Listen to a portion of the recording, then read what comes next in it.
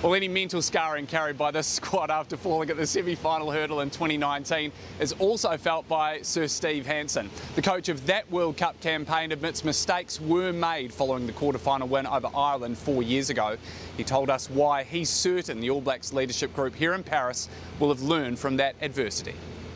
You look back to 19 subconsciously, I think we eased a bit because we played so well against Ireland and we took a breath you know, I didn't push enough buttons, uh, probably didn't pick the right side, and there's a large group of the guys that were part of that.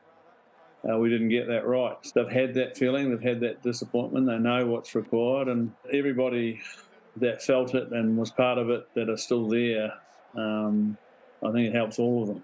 And you know, there is quite a large percentage of the management group uh, have been there before. They've not only experienced uh, losing it, but they've also experienced winning it as well. So they know what's different and what it feels like. And I think that's a big and uh, important part of the puzzle as well.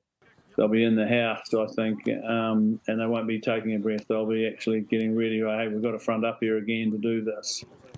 And um, so it's the, one of the benefits, I guess, of having that adversity in the past. You know, as far away as we are, I can guarantee Fozzie will have them tuned up, ready to go. So um, if they get that part of their preparation right and it's dead set and and um, genuine, uh, you know, we're a very good rugby side.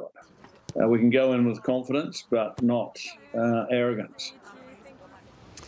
Here's some wise words from a man who has absolutely done it all